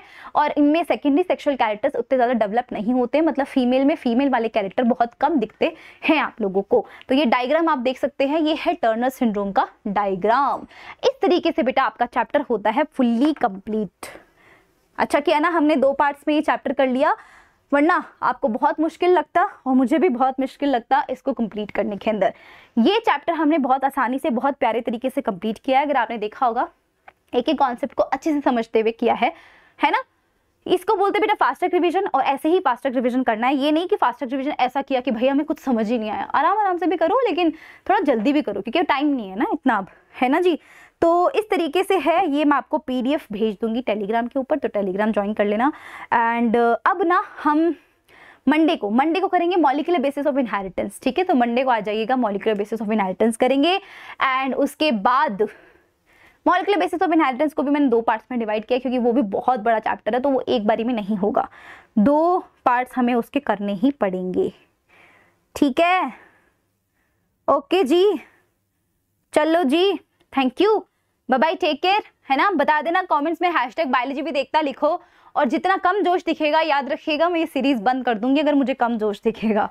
ठीक है? क्योंकि आई डोंट वांट कि बेटा इतने इतना कम जोश हो, होगा मतलब कि भाई मैं मेहनत जो कर रही हूँ वो जो मेरा मकसद था कि मैं सारे बच्चों तक पहुंचूं मैं तो पहुँच ही नहीं रही हूँ।